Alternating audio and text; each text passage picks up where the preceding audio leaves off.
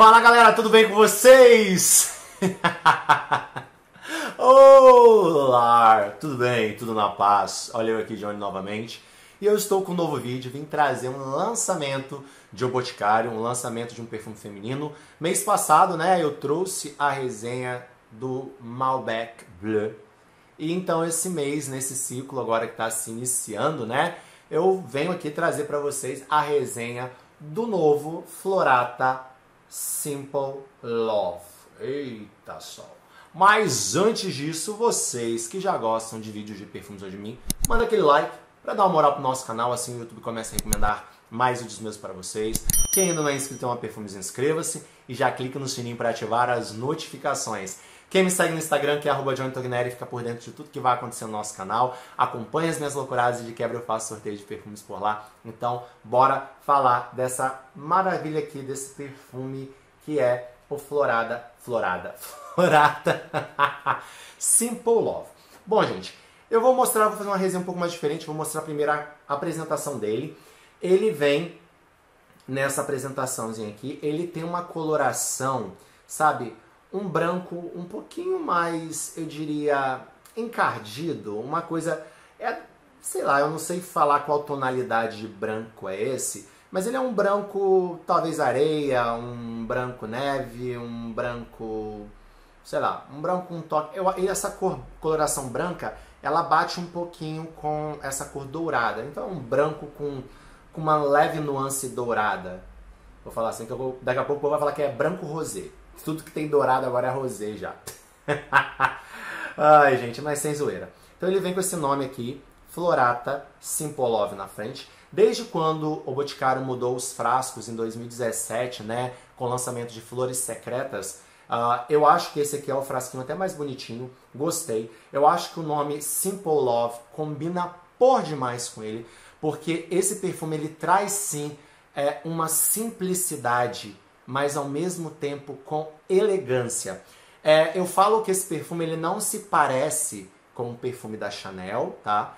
Mas ele traz um pouco daquele briefing, né? Aquele briefing uh, estilo Chanel, sabe? De menos é mais. Aquela coisa assim que às vezes algo um pouco mais clean, mais limpo, mais enxuto, mais minimalista é até mais sofisticado. E eu digo para vocês, de todos esses floratas, com esse frasquinho aqui, ele é o florata mais sofisticado e elegante, na minha opinião, tá? Eu achava que era o, Gold, eu achava o Gold o mais, assim, sofisticado. Tem muita gente que detesta o Gold, mas mesmo assim, eu achava ele o mais elegante. Hoje, eu acho que é esse daqui, é o Simple Love mais elegante, tá? Então ele vem desse jeito, nessa, nessa forma aqui, tá? Então, desse jeito a apresentação. A tampinha né, dele é assim, bem do jeito da tampinha mesmo uh, dos perfumes Florata, do Boticário e tal, né? Assim, o borrifador. Ele borrifa bem legal. Vou borrifar aqui em cima. Tá vendo? Cheiro dele eu vou falar daqui a pouco. Nossa, eu gostei desse cheiro. Ai, eu vou falar pra vocês o porquê que eu gostei desse cheiro, mas antes eu vou mostrar a caixinha, como eu disse, vou mostrar a apresentação primeiro. Ele vem assim. É aquela coisa típica da, da, das caixinhas do Florata, tá? Sem muita coisa diferente, né? Como sempre, a minha birra com o Boticário de não colocar um cartucho aqui dentro, então eu gosto. Então tá dizendo aqui, ó, Simple Love, diga assim, a simplicidade do amor. Ele veio com isso, esse perfume, ele veio com minimalismo, mas ao mesmo tempo sofisticação, elegante, rico, né? Porque uh, o amor é isso, o amor ele é simples, mas ao mesmo tempo ele é rico, né? Então é, é desse jeito. Uh, e aqui vem o briefing do perfume, né? Que diz assim, ó. Florata Simple Love acredita que o amor é simples. Eu também acredito. A gente que acaba complicando. Fazer o quê? Por isso, inspirou-se na simplicidade e delicadeza do muguê, que é o lírio dos vales, né? Que associado à floralidade e à personalidade de Florata entrega uma fragrância delicada e marcante. Marcante não, delicada sim, eu diria delicada, minimalista, mas não sem graça, tá? Um verdadeiro convite para dizer sim aos momentos de intimidade, à beleza do dia a dia, aos olhares de cumplicidade, aos gestos de carinho. Florata Simpolov diga sim à simplicidade do amor. Então esse perfume, gente, eu diria que ele é de certa forma sofisticado, elegante. Ele é um chipre moderno, um chipre floral moderno. Para resumir esse perfume assim de uma forma bem fácil para vocês entenderem o cheiro dele, eu diria que ele é mais ou menos assim. Pega o Una artisan da Natura, né? E dá uma suavizada, uma suavizada no Luna artisan, sabe? Com aquela coisa da rosa. Sabe aquele DNA chipre moderno que os perfumes têm? Que trazem a groselha negra, né? A cassis, né? O cassis e tal. É, com um toque de musgo de carvalho barra patchouli, que, que é isso basicamente e com um toque é, mais cítrico, uma bergamotinha na saída, sabe? Uma rosinha ali no corpo e um leve toque de âmbar, sabe? Bem nesse DNA é, que a galera já conhece, entendeu? Então pega todo esse DNA dessas notas que eu falei uh, do Una Artisan e dá uma suavizada aí em uns 70%, mais ou menos assim, e adiciona flores brancas, esse muguê. Gente, o muguê, o lírio dos vales, ele é muito gostoso. A Dior adora colocar lírio dos vales nos perfumes deles, tanto que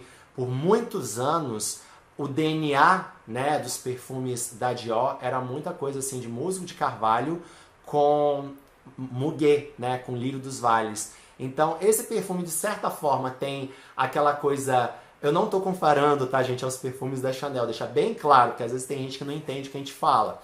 Ele tem essa coisa, essa simplicidade e sofisticação, estilo Chanel, e ele tem aqui meio que esse DNAzinho uh, de uns perfumes de outrora, da, da Dior, aquela coisa musgo de carvalho, patchouli, e o muguê, vocês me entendem? Então tem uma coisa aqui, então você sente, você vê, percebe essa sofisticação, essa elegância com simplicidade. É como se ele tivesse umas outras notas uh, florais brancas no fundo, como lá no fundinho, como se fosse aí uma nota de jasmim, como uma flor de laranjeira, sabe? Ele como tivesse um fundinho amadeirado com sândalo, que traz de certa forma uma cremosidade para esse perfume. E galera, Olha, nessa saída você sente um floral luminoso. Sabe aquelas coisas que lembram frutas amarelas, como se fosse uma tangerina, sabe? Uma coisa tangerina, clementina e com um toque de pera, aquela pera bem madurinha. Você sente uma coisa bem desse jeito. Misturando aí com essas notas que eu falei no estilo do Una Artisan, porém mais suavizado para acompanhar, porque o Una Artisan não é um perfume versátil. E esse perfume é, de certa forma, um perfume versátil. E uma coisa que eu gosto muito é que lá no fundo, bem no fundinho, você sente um toque de baunilha com almisca, sabe? Meio que uma baunilha almiscarada, mas não é aquela baunilha cremosa, não é aquela baunilha gourmand é aquela baunilha um pouquinho mais balsâmica. Então esse perfume é assim, ele traz essa vibe de coisas brancas, flores brancas e essa coisa luminosa que traz essa coloração né, dourada, que vem essa coisa como do âmbar, uh, de frutas né, amarelas, mais ou menos assim, é o que eu pego nesse perfume. E ele é muito gostoso. Eu tive um grande dilema com ele, porque, gente, eu me lembro que a primeira vez que eu passei esse perfume, eu passei e eu senti ele exalando de uma forma legal e depois ficando já mais rente à pele. Na segunda vez que eu passei ele, e eu falei, ah, como ele é um perfume mais inofensivo, eu vou testar como ele fica na academia, né? A época, na época a academia estava abrindo, né? É, antes de começar essas coisas agora de novo. Ai, meu Deus. Então, eu passei ele para malhar. E com a quintura da minha pele, esse perfume exalou de uma certa forma que eu não esperava que ele exalava. Então dá para notar que conforme a pele da pessoa fica, é mais quente, ele exala mais. Aí você fala, Johnny, sim, todo perfume, quando a pele esquenta, exala mais. Sim, eu sei disso. Mas esse aqui exalou de uma forma que foi acima do normal na hora. E foi mais ou menos assim. E eu fiquei até impressionado com isso. E quando eu uso ele, que a pele está mais fria, que eu não estou fazendo nenhum tipo de esforço, ele já fica mais suavizado. Então parece que ele, ele, ele intensifica até mais da média quando a pele esquenta, sabe? Eu acho que quando a pessoa está namorando e começa a pele esquentar, eu acho que ele, sabe, ele começa a exalar mais. Eu acho que proposital o Boticário uh, tenha feito isso. Eu gosto muito desse toque cítrico ácido da saída. Ele é um perfume, gente, que ele beira o zero açúcar. Então, quem gosta daqueles floratas mais docinhos que estavam sendo fabricados, tipo Red, né, tipo o eu acho que é Love Flower que fala que é o rosinha, a cerejeira em flor, é, florata cerejeira em flor, que é mais docinho, sabe? Ou flores secretas. Esse daqui, gente, eu acho que ele beira ele beira o zero açúcar. Uh, o que traz um leve toque adocicado aqui são as flores. Você sente o adocicado natural das flores, mas ele não é um perfume doce, tá? Relativamente ele não é um perfume doce. Então eu creio que muitas mulheres que não gostam de perfumes doces tendem a gostar desse perfume aqui, tá, gente? Desse Florata Simple Love. E olha, eu vou falar para vocês que quando eu passo ele, em média, ele exala legal, de uma forma até moderada, uma hora e meia para duas horas. E a fixação desse perfume foi muito doida. Eu tava até comentando esses dias na live que tem dia que eu passo esse perfume, ele fixa tipo seis horas na minha pele. E tem dia que eu passo ele, ele fixa três. Então eu acho que é de acordo com o calor da minha pele. Parece que quanto mais minha pele recebe um calor, parece que ele acaba, sabe, sobressaindo mais. E conforme vai ficando um pouco, ela parece que vai sumindo. Mas eu acho engraçado que no frio o perfume tende a fixar mais, né? E, e eu, sei lá, ele fica um pouco bem mais chindo, acaba às vezes sumindo às 3 horas mais ou menos. Mas de uma média, eu diria que ele na minha pele fixa algo entre 4 ou 5 horas na maioria das vezes. E pode ser que na sua pele fixa menos do que isso, ou mais do que isso. Vai ter gente que vai falar água de chuchu, ai, o Boticário lançando outro, outro florata água de chuchu. Gente, falar um recado pra galera desencanar. Florata, todas as vezes que vocês verem um perfume chamado Florata, vai ser, abre aspas, água de chuchu.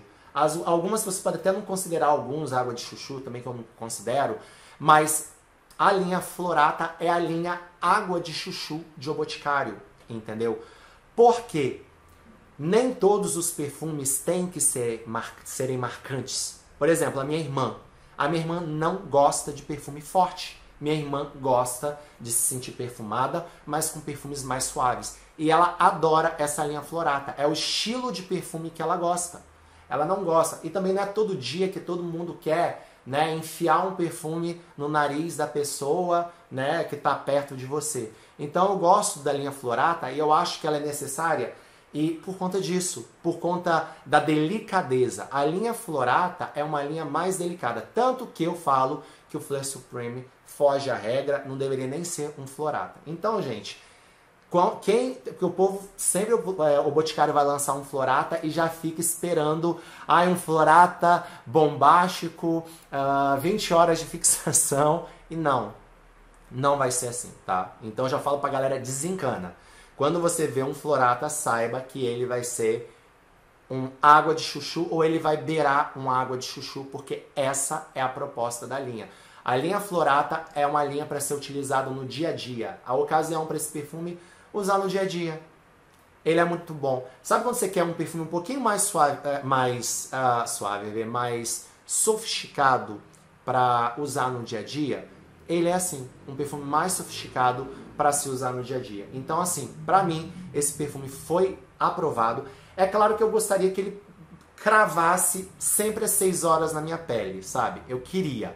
Mas não é sempre assim. Mas quando eu comprei esse perfume, quando eu testei ele, eu já sabia que Florata é assim. Então eu não vou ficar choramingando minimizando, igual muitas pessoas fazem direto. Eu não estou defendendo o Boticário, não estou defendendo a marca, o Boticário tem muitos erros. Mas é porque é a mesma ladainha de sempre, cansa, cansa. Todo florata que é lançado, o povo, ai, gente, ai, chuchu, sem água de chuchu. Sabe, tipo assim, descobriu o Brasil. gente, se eu tô falando isso aqui não é um desabafo, não, é porque todo mundo sabe que florata é assim, tá? Então você que quer um perfume sofisticado, elegante, pro dia a dia, é um perfume que vai agradar muito um público de 30 anos para cima, mas se você gostar do cheiro, sinta-se à vontade para usá-lo. É, eu super recomendo. Gente, vocês têm que conhecer esse Florata. Não estou falando para ninguém comprar, não estou aqui para vender perfume não. Mas estou falando, conheça para ver, vai que te agrade, vai que você goste, vai que seja o que você está esperando aqui, né, no Simple Love Florata. Então, galera, é isso aí, essa resenha ficou longa demais. Quem gostou desse vídeo, dê um like, compartilhe. Um forte abraço a todos e vejo vocês no próximo vídeo. Valeu, galera. Tchau, tchau.